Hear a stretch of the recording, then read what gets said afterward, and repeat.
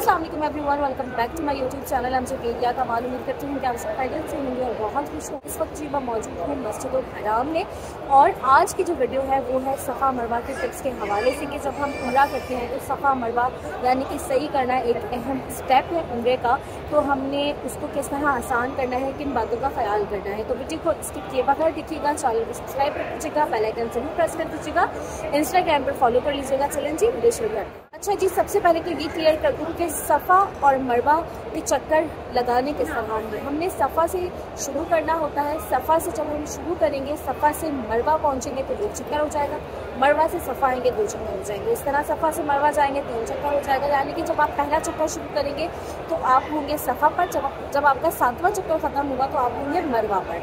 तो इस बात का ख्याल रखिएगा। कुछ लोग समझते हैं कि सफ़ा से मरवा मरवा से सफ़ा, यानी कि सफ़ा से जाएँगे फिर वापस सफ़ा आएँगे तो वो एक चक्कर काउंट होगा। तो ऐसा नहीं है सफ़ा से मरवा एक और मरवा से सफ़ा दो चक्कर हो जाएँगे। यहाँ पर टिप्स के हवाले से बात कर लेते हैं जी तो सबसे पहले टिप ये है कि जब आपने तवाफ़ करना है तो आपने तवाफ़ करने के बाद कुछ देर अपनी टांगों को आराम देना है, कुछ देर बैठ जाना है और बैठने के बाद आपने सफ़ा मरवा यानी का सही के चक्कर शुरू करने हैं। क्योंकि मताफ़ में जब हम पहुँचते हैं तो हम अपने होटल से निकलते हैं, बहुत मस्जिद हराम में चलते हैं चलकर मताफ़ तक पहुँचते हैं, फिर हम मताफ़ में तवाफ़ के चक्कर लगाते हैं और फिर हम सफ़ा मरवा आते हैं तो बहुत ज़्यादा हमारी टांगें जो है दुख चुकी होती हैं।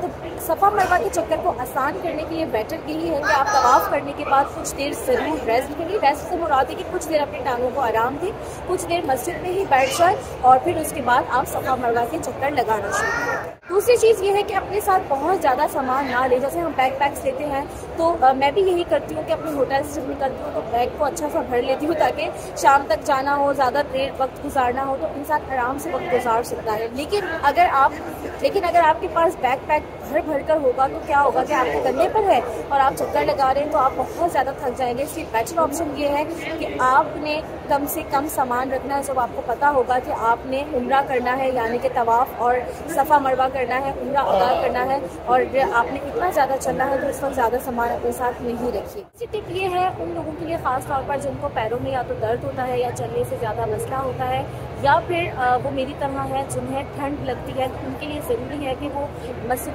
हराम में बाहर इब्राहिम खली रोड की तरफ़ चमड़े वाले मोजे मिल रहे होते हैं। दस से पंद्रह रियाल के मिल जाएँगे। आप वो ले लें और उन जब आप सफ़ा मरवा करें तो वो पहनने तो उससे बहुत आसानी हो जाएगी आपके पैर भी ज़्यादा नहीं दुखेंगे यानी कि नीचे से हमारी एड़ियाँ जो है वो दुखने लग जाती हैं और आपको ठंड भी नहीं लगेगी अगर आपको मेरी तरह ठंड लगती है। चौथी जो टिप है वो भी आ, उन लोगों के लिए है जिनके साथ या तो बच्चे हों या पेशेंट्स हों या मेरी तरह खुद वो ऐसे हों जिनको या तो बीपी लो हो जाता है शुगर लो हो जाती है तो वो लाजमी अपने साथ कुछ नमकीन और कुछ मीठा थोड़ा सा कुछ खाने का रख नॉर्मल सा कि जब आपको लगे कि आपका बीपी या तो लो है या शुगर लो है तो आप फ़ौरन उसको खा लें और आपके लिए जो ये उम्र है, फिर वो बहुत आसान हो जाए। अच्छा एक चीज़ काफ़ी लोगों को परेशान ये करती है, उनको लगता है कि सफ़ा मरवा के चक्कर यानी कि सही वन गो में करना है, यानी कि मतलब हम बैठ नहीं सकते, बीच में आराम नहीं कर सकते तो ऐसा बिल्कुल नहीं है।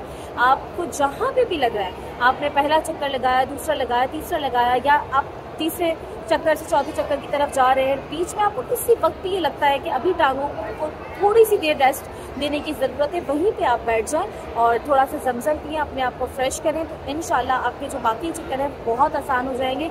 एक साथ लगाना ज़रूरी नहीं है, जहाँ पर भी हिम्मत टूटे, वहाँ पर आप बैठ सकते हैं। अगर बहुत ज़्यादा गर्मी है या आप बहुत ज़्यादा लो फील कर रहे हैं तो फिर जमजम पिए, जमजम के जो कैंस वगैरह है कूलर्स टाइप है, वो यहाँ पर लगे हुए हैं। सफ़ा मरवा पे अपने साथ बैग में नहीं भरे जगह जगह है, वहीं से आप ले लें और थोड़ा सा अपने सर पर भी लगा लें तो आपको इन बहुत ज़्यादा जो है वो एनर्जी मिलेगी अच्छा जी, अगली टिप खास तौर पर खातन के लिए वो ये है कि जब हम सब मरवा में पहुँचते हैं, यानी कि हमारे सही के सातों चक्कर पूरे हो गए हम मरवा पे, अब हमने कस्म करना है, यानी कि बाल काटने हैं तो अक्सर खातन क्या करती हैं? बाल काटते ही फेंक देती हैं।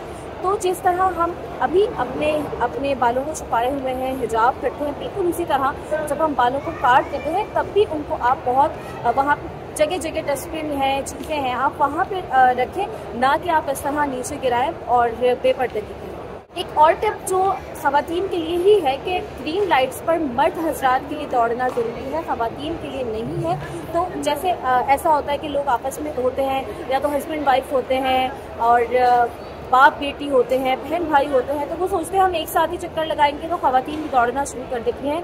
तो बिल्कुल नहीं, मर्द हजरात के लिए दौड़ना ज़रूरी है तो खातन अपनी नॉर्मल स्पीड से जाएँगी, मर्द हजरात दौड़ेंगे, वो जब आगे जाएँगे तो मर्द उनका वेट कर लें और फिर आप लोग सात चक्कर जो है वो कंटिन्यू कर सकते हैं। अच्छा एक सबसे बड़ी टिप और सबसे बड़ी गलती जो यहाँ पर लोग करते हैं वो ये है कि सफ़ा मरवा पर जहाँ पर भी जमात मतलब जब नमाज़ होती है, लोग जमात के लिए खड़े होते हैं तो वो स्ट्रेट खड़े हो जाते हैं। यानी कि फॉर एग्ज़ाम्पल अगर ये सफ़ा है, ये मरवा है तो सफ़ा जब हम शुरू करते हैं तो सफ़ा इस तरफ़ अगर काबा है तो मरवा के आप ऐसे स्ट्रीट नमाज़ पढ़ेंगे तो किस तरह आप नमाज़ पढ़ सकते हैं। आपने इस तरह करके नमाज़ पढ़ इवन टाइल्स भी जो है, वो काबतुल्ला की सिमत का तयन करते हुए बनाई बनाई गई है।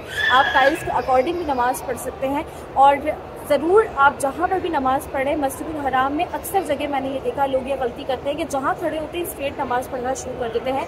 आप देखें काबतुल्ला की सिमत का तयन करें, उसके बाद ही आपने नमाज़ बना लेनी अच्छा जी, जब हम सही करते हैं, यानी कि सफ़ा मरवा के चक्कर लगाते हैं तो बहुत ज़रूरी है कि जब आप सफ़ा में पहुँचें तो ठहरे रुके और अपनी दुआएँ मांगे। जब आप मरवा भी पहुँचे तो भी ठहरे, रुके और अपनी दुआएँ मांगे। वो क्या करते हैं कि जब सफ़ा से मरवा जाते हैं तो बस फ़ौरन ही यू टर्न ले लेते हैं। वहाँ पे आप ठहरे, दुआएँ मांगे कि वहाँ पर, यानी कि सफ़ा मरवा पर दुआएँ मांगना और ठहरना सुनत रसूल सल्लल्लाहु वसलम है।